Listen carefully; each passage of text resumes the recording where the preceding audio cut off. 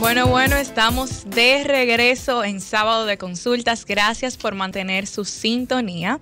El día de hoy nos encontramos con Yasmiri Rosa, quien es emprendedora, mentora y speaker motivacional. Bienvenida, Yasmiri. Hola, muy buenas tardes. Yasmiri. Julia, Denise y Marta, para mí es un placer estar aquí con ustedes hoy en sábado de consulta. La verdad que el placer es nuestro, Yasmiri, y sin más preámbulos vamos a empezar. Yasmiri, quiero que nos cuentes cómo, eh, desde tu punto de vista, una persona puede vencer el miedo para poder empezar un emprendimiento. Sí, esa pregunta, qué bueno que me la haces, porque muchas veces nosotros podemos tener el talento, todas las capacidades, estar preparados, pero si tenemos miedos, nunca vamos a dar ese primer paso. Porque los miedos nos van a vencer, nos van a hacer creer que nosotros no estamos listos, que a nosotros nos faltan muchas cosas y realmente todo está dentro de nosotros. Y primero es buscar qué yo tengo que se me pueda dar bien y saber que al principio voy a tener miedos, voy a tener dudas, pero que es parte del proceso. Básicamente eso, en Julia lo podemos ir manejando. ¿Desde qué plataforma, Yasmiri, eh, Yasmiri, tú trabajas este, este concepto, este proyecto que tienes? Sí, esto, todo esto nace, eh, Marta, porque, bueno, así como me ven, yo tenía un miedo que ustedes no se imaginan, a estar expuesta, a estar por aquí, como me ven, muy grande. Esto eh, no surge porque es bonito, porque ahora estamos en todo lo que es motivación y vamos a emprender todos. No, realmente, para mí estar expuesta ha sido un tema por mucho tiempo. Y una vez pues termino mi, mi profesión, comienzo a trabajar, tengo logros, reconocimientos y experiencias, me di cuenta que yo estaba llena de miedos, que yo no estaba haciendo las cosas que quería, ni siendo quien yo quería ser. Yo dije, tengo que atreverme, yo no puedo pasar toda mi vida así. Y así como estoy yo, hay muchísimas otras personas más porque a raíz de que hace un año comencé como a exponerme, a llevar el mensaje, me escriben tantas personas que por el DM, mira, yo soy igual que tú, ay Dios mío, ¿cuándo que voy a comenzar? Déjame saber. yo digo, ha valido la pena exponerme, no es para que me vean, ha valido la pena porque le estás cambiando la vida a otra persona a través del mensaje. Y por eso surge Atrévete, para que tú puedas atreverte a ponerte en acción. Y precisamente yo lo me da un choque porque tu profesión es administración de empresa, unas personas que están en una oficina eh, ocho horas que casi siempre eh, esas personas son muy tímidas, siempre están con números como los contadores, siempre están con la cabeza baja para tú lanzarte así. Mm. Exactamente. Yo estudié administración de empresas y hice un MBA en relaciones y negocios internacionales. Me encantan los negocios. Claro que sí, pero me encanta también el contacto con la gente. Me fascina la comunicación, estudié teatro, pero el teatro, déjame decirte que yo creo que fue una de las cosas que más me dolieron, porque tú tienes que estar expuesto. Y yo cuando todavía en la, la, escuela, que voy a la universidad, digo, ¿qué hago? ¿Me voy por negocio o sigo el teatro? Nos pasó igual. Ah, bueno. Porque duraba cuatro años, sí. Entonces, por miedo, Exacto. dije, no, déjame irme por mi negocio. y dejé eso ahí, eso te marca. Te marca porque es algo que tú dejas inconcluso. Y yo dije, esta vez no. Esta vez usted se va a atrever, usted va a salir y usted va a comunicar el mensaje. Y hay muchas personas así mismo que quizás ahora mismo están en una oficina haciendo lo que no les gusta. Y no solamente estamos hablando de emprender, también estamos hablando de muchas cosas. A veces tú no eres quien quieres ser y te muestra tal cual tú eres por miedo al rechazo, por miedo al que dirán, ay, si me pongo esta ropa no me van a aceptar porque no es así. Eh, la inseguridad, la falta de creencia en ti es lo que no te está permitiendo a ti avanzar y dar el próximo paso. Yasmiri, mencionaste dos términos, mencionaste emprendimiento, emprendedores y también mencionaste la parte de atrevernos y la duda. Entonces, me resulta muy familiar ambos términos porque hay muchas personas que van a segmentos de coaching y salen con, wow, con la emoción en alta. El cielo es el límite. Sí, el cielo es el límite, voy a emprender. Pero ¿qué pasa? A medida que van presentándose algunas situaciones, comienza la duda. ¿Por qué dudamos? Si sabemos que atrevernos nos llevaría a amar lo que nosotros hacemos. Mira, yo te puedo decir desde mi experiencia, y qué bueno que tú mencionas lo del coaching. En mi caso, eh, yo soy mentora. Una mentora es una persona que ha pasado por donde tú estás ahora. Y yo sé cómo te estás sintiendo, cómo te vas a sentir. Dudamos porque nosotros tenemos que pasar por ese proceso de transformación que no queremos. Cuando tú pasas por tu proceso, si tú sabes que tú eres insegura, hay un proceso que tú tienes que pasar de transformación para tú llegar a convertirte en quien tú quieres ser. Pero cuando tú vas, eh, mira, a base de motivación, que vamos a lograr eso, que tú lo puedes lograr, y cuando se va la motivación, ¿qué queda? Vuelves a quedar donde tú estabas, porque te estamos echando aire, pero después, ¿qué queda? Entonces, lo bueno es que tú puedas encontrar tu esencia, tú saber eso, que sin motivación, independientemente de las circunstancias que haya, tú puedas seguir. Porque circunstancias van a haber, no siempre vamos a estar en alta. Así es, así es. Doctora, ¿y qué usted le diría a esas personas que ya bueno, tienen la motivación, tienen incluso la idea de lo que quieren emprender, ya saben lo que les gusta, ya, ya tienen su, su proyecto todo planeado, sí. pero entra la procrastinación. ¿Cómo usted piensa que les aconseja a esas personas para que puedan vencer la procrastinación? Wow, me encanta que hayas mencionado el término de la procrastinación, porque cuántas personas hay ahora mismo que tienen la idea, como dije al principio, tienen los conocimientos y ya saben cuál, qué es lo que van a hacer, pero entonces comienzan a dudar de ellas. Y procrastinar es básicamente cuando tú no sabes, tú procrastinas porque tú no sabes cómo tú vas a hacer frente a eso. Al tú no saber cómo tú vas a hacer frente a eso, tú comienzas entonces a dejar eso para después. Entonces ahí hay dudas también. Todo radica en los miedos, señores. Todo radica en los miedos. Tú procrastinas porque tienes miedos, porque tienes dudas. Cuando tú no tienes dudas, tú le das para allá rápido. Dices, jamás sé esto, me voy a ponerse lo otro. Pero cuando tú tienes dudas de ti a veces, porque muchas veces comienza contigo, y yo voy a hacer eso, y yo me voy a atrever, y comienza el síndrome del impostor a atacarte y me van a creer. ¿Y qué van a decir de mí? Que ahora yo estoy en eso. Yo no me siento capacitada y tú con, con dos profesiones, una maestría, cuántos cursos técnicos y todavía estás dudando de ti. De hecho, yo escribí, creo que fue antes de ayer, que decía, deja ya de hacer cursos y capacitaciones. Lo que necesitas es ponerte en acción. Y eso es procrastinación, falta de acción. Eso de procrastinar, ese aplazar El, el, trabajo. Ahora, como preguntaba Denis, eh, salí con que el cielo es el límite y que lo voy a hacer y mire, mañana arranco. Pero mañana comienza la duda. Pero y entonces, eh, tengo el dinero, pero y entonces, ¿cómo trabaja en cierto modo la mentora? Porque, ok, la mentora que eres tú no va a estar todo el tiempo jompeándome. Claro que sí. En, una, en esa primera etapa, ¿Cómo yo me acerco para que tú me, me dé la mano, me levante de ese aplazamiento? Sí, que bueno, esa pregunta es básicamente una de las que nosotros tenemos en nuestro programa, que es la primera parte de tú conocerte, de tú encontrarte contigo. ¿Cuáles son esas habilidades, esos hábitos que tú no tienes? Esas oportunidades de mejora que tú necesitas para tú lograr hacer y ser lo que tú quieres ser porque como te digo, es un proceso y tú no haces nada con ir a un evento y salir con todo el ánimo y al final no lograr nada. Entonces vamos a empezar con nosotros conocernos.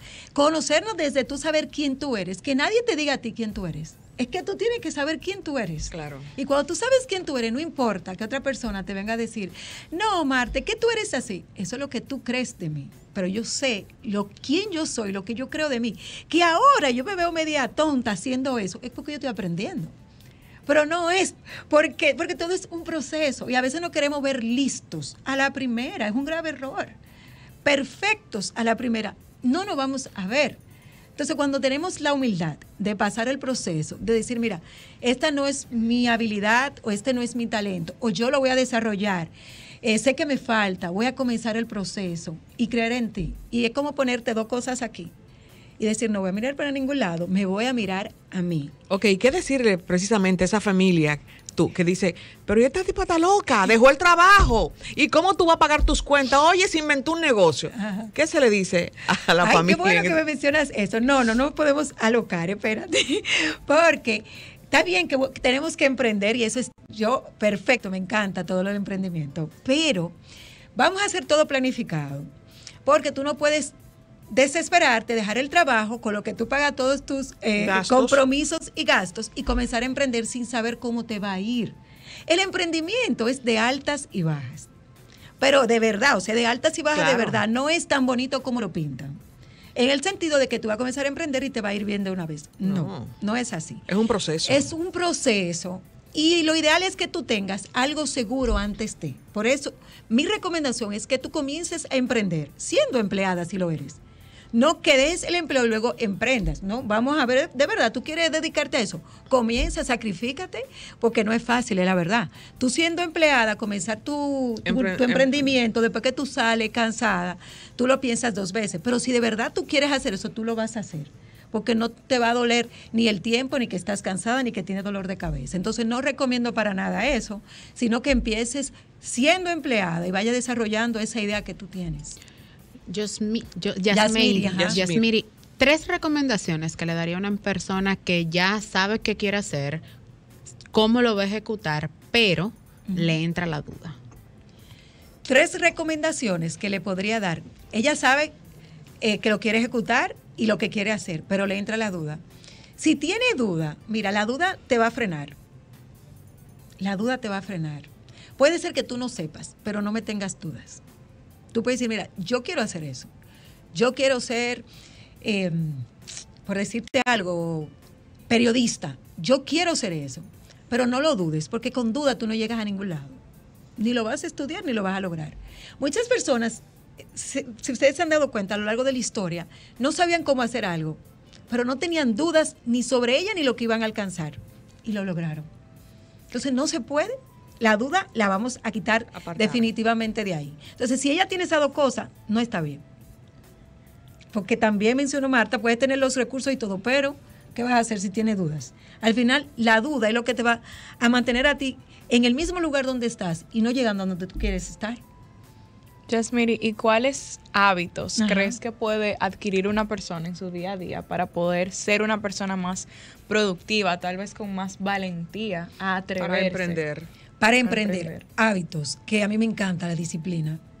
La disciplina es un hábito que te va a dar carácter, que no es lo mismo que temperamento. Carácter para tú saber que va a haber momentos donde tú vas a tener que, que volver al principio, quizás si ya tú vas muy adelantada y no te puedes frustrar.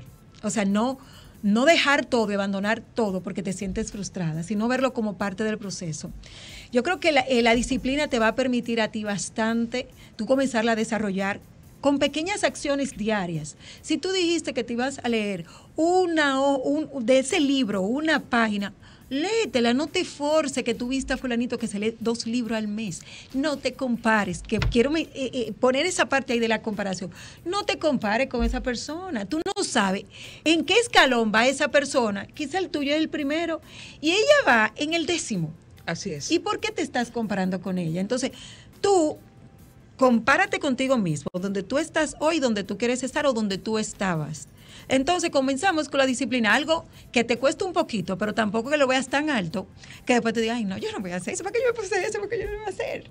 Justo lo que acabas de decir me recordó una frase que leí en Instagram en estos días que decía que mira cuán lejos he llegado si eh, miro hacia, hacia, atrás, todo el camino recorrido.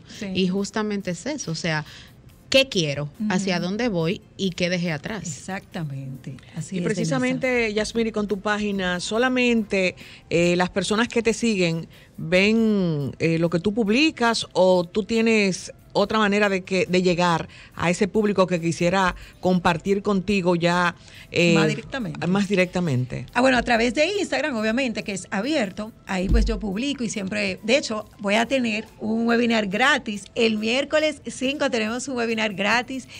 Va a estar, esto es algo como dar. Si tú recibes, también tú vas a dar mucho. Porque esas personas que yo sé que están ahí, que muchas veces no te escriben porque yo era una de esas, yo no te ponía ningún comentario, pero para no estar expuesta. Porque si tú me ves, yo le pongo un comentario a Dani y me dice, oh, ¿quién es Yasmine? Déjame buscarla. Ya yo estoy expuesta, va a comenzar a verme. Y a veces hay personas que no te comentan ni te dan un like ni nada. No es porque no quieran, es porque tienen ese miedo de estar expuesta. Y yo voy a tener este webinar eh, gratuito este miércoles a las 8 de la noche para todas aquellas personas que todo esto que hemos estado hablando se identifican, es para ustedes. Entonces, miércoles 5 a las 8 de la noche a través de YouTube Live voy a estar subiendo el link para que se puedan registrar. Entonces, eh, a través de Instagram, pues estoy abierta y tengo el programa que es Atrévete. Es un programa que he desarrollado que busca básicamente eso. A través de las mentorías, tú puedas hacer y ser lo que tú quieres comenzar. No necesariamente tiene que ser emprender. De hecho, ahora estoy llevando una mentoría que la persona lloramos juntas porque ella tiene 16 años trabajando. ¿Y tú sabes por qué no se ha movido de su trabajo? Porque ella ha aplicado en otros y le han dicho que no. Y ella tiene miedo que le vuelvan a decir que no. Wow. Ella tiene 16 años. Ahí ha, solicitado que la puedan eh, promover. promover. Pero su misma actitud, su misma no le da la seguridad al otro de poderla promover. Ella se siente frustrada. Dice, y, entonces, yo y poco valorada. Y esa es la palabra, mira, perfecta, poco valorada. Entonces le dicen, ¿y por qué tú tienes tanto tiempo aquí? ¿Qué es lo que dice? Es una persona que no, que no aporta, que la gente no lo ve como, como el plus de la empresa. Y ella decidió comenzar. Y qué bueno que salió de ella, porque tiene que salir de ti. Porque si tú no ves en ti, yo no lo voy a ver tú tienes que saber que tú lo necesitas. Entonces, nada, empecé con ella y lloramos un poco, pero yo sé que vamos a sacarlo mejor. Así Doctora, yo sé que al igual que esa mujer que usted menciona, hay muchísimas otras que podrían utilizar esa ayuda, o sea, que les podría ayudar a emprender, que como hemos hablado ya tienen la idea, o simplemente saben que no quieren quedarse estancados en el lugar donde están en el momento. Y por eso, doctora, me gustaría que comparta sus redes sociales, su usuario, para que nuestros oyentes puedan también consumir su contenido, que yo sé que se quedaron también con más preguntas y así pueden contactarla. Claro que sí, pues eh, en Instagram, así mismo como mi nombre, Jasmiri Rosa. Eh, dos y latina, así totalmente. Ese es mi Instagram, ahí me pueden localizar y nada, yo un placer de poder estar en contacto con ustedes. Bueno, a ustedes que nos sintonizan, mantengan la sintonía porque en breve regresamos con más de este sábado de consultas. Estás escuchando el Interactivo